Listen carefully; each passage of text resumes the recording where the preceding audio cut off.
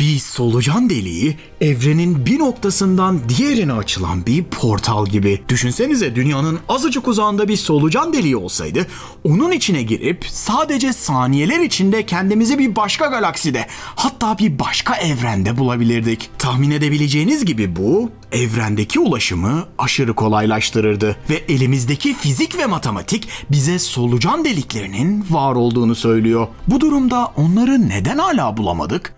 Ve bir gün bulduğumuzda tam olarak ne görmeyi beklemeliyiz? Gelin bir bakış atalım.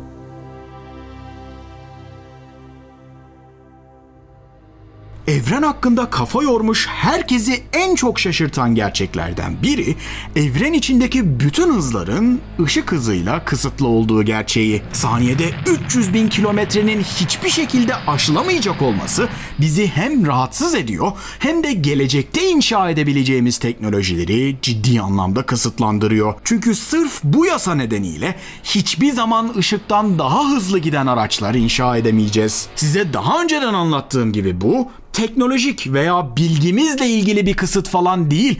Evrenin uzay zaman dokusuna içkin bir hız sınırı. Yani bu evrende olduğumuz müddetçe bu ışık hızı aşılamaz. Başka evrenler varsa onların da dokusuna bağlı olarak farklı hız sınırları olacak. Bunlar bizim ışık hızımızdan daha yavaş veya daha hızlı olabilir. Ama bizim evrenimizde yasa bu. Yapacak bir şey yok. Bu geleceğimiz için çok büyük bir problem. Çünkü ışık hızı inanılmaz yavaş bir hız. Evet dünyanın çevresini bir saniyede 7,5 kez dolanacak kadar hızlı ama kozmik perspektiften bakıldığında ve evrenin devasalığı düşünüldüğünde dünyanın çevresi ne ki? Bir hiç. Işık öylesine yavaş ki güneşten çıkan ışığın bize ulaşması 8 dakika 20 saniye sürüyor. Yani ışık hızında gidebilecek olsaydık bile Ay'a 1.3 saniyede, Güneş'e 8,5 dakikada, Mars'a 20 dakikada, Plüton'a 7 saatte, Güneş'ten sonra bize en yakın yıldız olan Proxima Centauri'ye 4,5 yılda,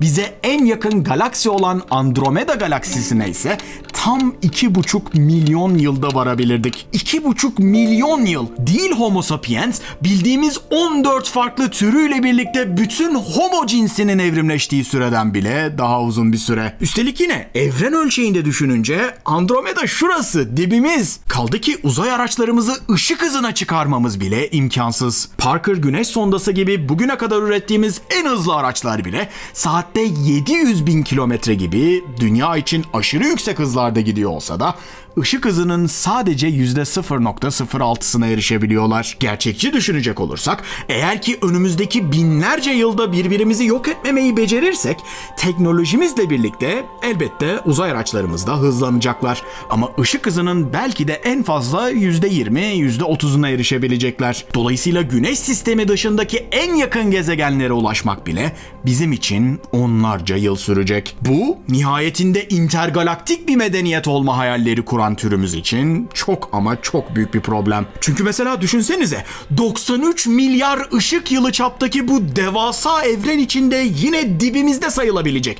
Atıyorum 100 bin ışık yılı uzaklıktaki bir galaksiye gitmek isteyeceğiz. Çünkü belki de dünyayı geri döndürülemez bir şekilde yok etmiş olacağız. Ve oralarda bir yerlerde dünyadan daha yaşanabilir olduğunu düşündüğümüz gezegenler tespit etmiş olacağız. Ama uzay araçlarımızı geçtim. Işığın kendisi bile o kadar yavaş ki araçlarımız ışık hızında gidebilecek olsaydı bile biz oraya ulaşana kadar dünya üzerindeki kontrol merkezinde ve hedefimizdeki galakside en az 100 bin yıl daha gerçekçi bir hızla gittiğimizi varsayarsak en az 300-400 bin yıl geçmiş olacak. Şöyle düşünün 400 bin yıl önce biz modern insanlar yani homo sapiens türü bile henüz ortalıkta yoktu. Bu biyolojik bir canlı için inanılmaz uzun bir süre ve fark edebileceğiniz gibi bu durum çok büyük bir problem yaratıyor. Bir galaksi veya gezegenin yaşam potansiyeli için hedef alacağız ve yola çıkacağız. Ama biz oraya ulaşana kadar belki de o gezegen yaşanamaz bir hal alacak. Üstelik geride yani dünyada bıraktığımız insanlar biz oraya ulaşana kadar bambaşka bir türe evrimleşmiş olacaklar ve bizim bu göreve çıktığımızı bile tamamen unutacaklar. İşte bu nedenle birçok fizikçi ve bilim kurgu yazarı ışık hızı limitini aşmaksızın bu sorunu nasıl çözebiliriz İngiliz bunun üzerine kafa yoruyorlar. Star Trek gibi dizilerde karşımıza çıkan warp sürüşü bunun potansiyel bir çözümü. Ama bu bir başka videonun konusu. Bugün bizim için daha önemlisi solucan deliği denen çok ilginç bir astrofiziksel konsept. Solucan delikleri sadece bir bilim kurgu fantezisinden ibaret değiller. Einstein'ın görelilik teorisinin kara deliklere uyarlanması sırasında doğal bir sonuç olarak karşımıza çıkıyorlar. Yani denklemler bize gerçekten de bu tür bir yapının var olabileceğini söylüyor. Ama bu kanalda sık sık konuştuğumuz bir diğer gerçeği asla unutmayın. Bir şeyin fizik denklemleri çerçevesinde olası olması, yani matematiğin bize bir şeyi göstermesi, o şeyin fiziksel bir gerçeklik olması anlamına gelmiyor. O öngörüyü doğrulayacak pozitif kanıtlara ihtiyacımız var. Bu kanıtları aramak içinse biz solucan deliğinin ne olduğunu tam olarak anlamamız şart. Solucan deliklerini anlamak için bir elma hayal edin. Bu elmanın üzerinde bir solucanın yaşadığını düşünün. Solucan bu noktadan arkadaki bir noktaya gitmek isteyecek olsa birçok farklı rota izleyebilir. Öyle değil mi? Ve bu rotaların her birinin belli bir uzunluğu var. Yani her biri belli bir süre alacak. Ama hayal edebileceğiniz gibi eğer ki solucanımız bu noktadan arkadaki noktaya yüzeyden gitmek yerine doğrudan doğruya elmanın içinden gidebilecek olsaydı çok daha kısa bir yol kat etmiş olacak ve hedefine çok daha hızlı varmış olacak. Tıpkı bizim dağların etrafından veya üzerinden dolaşmak yerine onların içine bir tünel açıp diğer tarafa zınk diye geçebiliyor olmamız gibi. İşte astronomide karşımıza çıkan solucan delikleri de solucanların meyveler içerisinde açtıkları bu deliklerin isimlerini alıyorlar. Bunun uzay zaman dokusundaki karşılığını anlatmak içinse o meşhur anlatımı yapmam gerek. 500 bininci kez dinliyorsanız kusura bakmayın. Şimdi bir kağıt hayal edelim. Bu kağıt iki boyutlu bir uzay zaman dokusunu temsil ediyor. Çünkü evrenin 3 veya daha üst sayıda boyutta eğilip büküldüğünü hayal etmek ve bu videoda göstermek çok zor. Şimdi bu düzlem içerisinde iki tane nokta olsun. Birincisi burada, ikincisi ise şurada olsun. Aralarında belki de 100 bin ışık yılı olan bu iki nokta arasında yol kat etmek isteyecek olsaydınız az önce de konuştuğumuz gibi yüz binlerce yıl boyunca yol gitmeniz gerekecekti. İşte bir solucan deliğinin yaptığı şey uzay zaman dokusunu müthiş bir şekilde kendi üzerine bükmek. Böylece aslen çok uzak olan iki nokta pratik olarak dip dibe gelebiliyor ve siz bütün yolu kat etmek yerine bu kalem boyunca hareket edip o diğer noktaya kısa sürede ulaşabiliyorsunuz. Yalnız dikkat edin burada aslında ışık hızı aşılmıyor. Mesela ışık bu uzun yolu takip edecek olsa yine saatte 300 bin kilometre hızla gidecek. Keza ışık bu solucan deliği boyunca yani kalem boyunca ilerliyor olsa da yine saatte 300 bin kilometre hızla gidiyor olacak. Yani hız değişmiyor, mesafe değişiyor. Bu sayede solucan delikleri veya bilimsel adlarıyla Einstein-Rosen köprüleri uzun mesafe yolculuk problemini ışık hızını aşmaksızın çözebiliyorlar. Peki bir solucan deliği tam olarak neye benziyor? Yapısı ne veya nasıl çalışıyor? Bunun için birkaç farklı opsiyon olduğunu anlamamız lazım. Öncelikle solucan deliğinin içine girmemizi sağlayacak, az önce de anlattığım gibi uzay zaman dokusunu absürt bir şekilde bükebilen bir gök cismine ihtiyacımız var. Hmm, bu çok tanıdık geliyor. Evet bir kara delik. Kara delikler muazzam kütleleri nedeniyle uzay zaman dokusunu ışığın bile içinden kaçamayacağı şekilde büken, dolayısıyla dışarıdan bakıldığında simsiyah gözüken gök cisimleri. Bunların var olduğunu kesin olarak biliyoruz. Artık fotoğraflarını bile çekmeyi başardık. Ama bir solucan deliğine girmek yetmez. Öteki taraftan da çıkabilmeniz gerekiyor. İşte bu daha zor bir problem. Öyle bir gök cismi olmalı ki kara deliklerin tam tersini yapsın. Bir şekilde içine ulaşabilen şeyleri muazzam bir güçle kusuyor olsun. Ve tıpkı kara deliklerin içinden kaçamadığımız gibi bunların da içine girilemiyor olsun. İşte bu hipotetik gök cisimlerine ak delik veya beyaz delik adını veriyoruz. Evet şaka yapmıyorum. Ne yazık ki ak deliklerin var olduğunu gösteren hiçbir delille rastlayamadık. Çünkü düşünecek olursanız kara deliklerin aksine ak delikler içlerindeki her şeyi dışarı kustukları için muazzam bir ışıma yaparlardı ve gökyüzünde aşırı parlak gözükürlerdi. Gökyüzünü taradığımızda kuasarlar gibi aşırı parlak cisimler görüyoruz ama bunların saçtığı sinyaller ak deliklerden beklediklerimize uymuyor. Dolayısıyla oralarda bir yerlerde ak delikler var mı? Maalesef bilmiyoruz. Ama eğer ki varlarsa bir kara deliğin büktüğü uzay zaman dokusu bir ak delikle buluşabilir, aralarında bir tünel oluşabilir ve cisimler bu tünelden geçerek çok uzak mesafelere kısa yoldan ulaşabilirler. İşte Einstein-Rosen köprüsü veya solucan deliği tam da böyle bir şey. Ama ak delikler varsa bile bir kara delikle bir ak deliğin birbirine bağlanmasını sağlayan solucan deliklerinin varlığı halen büyük bir soru işareti. Çünkü genel görelilik teorisi çerçevesinde yaptığımız hesaplamalar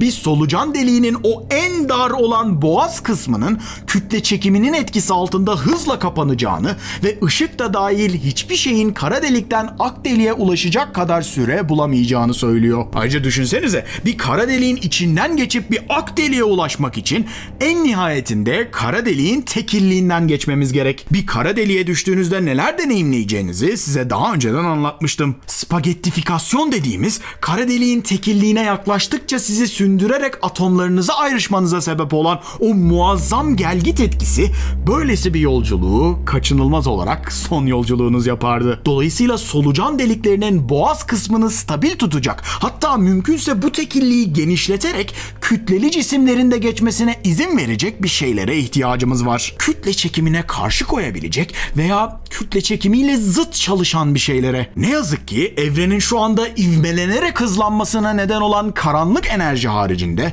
bunu yapabilen hiçbir şey bilmiyoruz. Ama görelilik teorisinin daha gelenek dışı çözümleri egzotik madde adını verdiğimiz negatif kütle ve enerjiye sahip bir madde olabileceğini öngörüyor. Negatif kütle bildiğimiz fizik kurallarının birçoğunun tam tersine çalıştığı çok tuhaf bir şey olurdu. Mesela bir topa bu yönde kuvvet uyguladığınızda top da o yönde gidiyor. Ama bu top negatif kütleli olsaydı kuvvet uyguladığınız yönün tam tersine doğru hareket etmeye başlardı. Vurduğunuzda size doğru hareket eden bir top düşünün. Veya bu maddeden yeterincesini bir araya getirip bir gezegen inşa edebilecek olsaydınız, diğer gezegenler ve gök cisimleri gibi birbirini çekmek yerine diğer gök cisimlerini iten son derece tuhaf bir yapı elde ederdiniz. Bu şu anda bize çok anormal geliyor ama evrenin sağduyularımızı tatmin etmek gibi bir yükümlülüğü yok. Bunu unutmayın. Denklemlerimiz bu egzotik maddenin var olabileceğini söylüyor. Her ne kadar onun varlığına dair henüz hiçbir somut kanıt bulamamış olsak da. Egzotik madde var mı bilmiyoruz ama eğer ki varsa veya insanlar tarafından inşa edilebilirse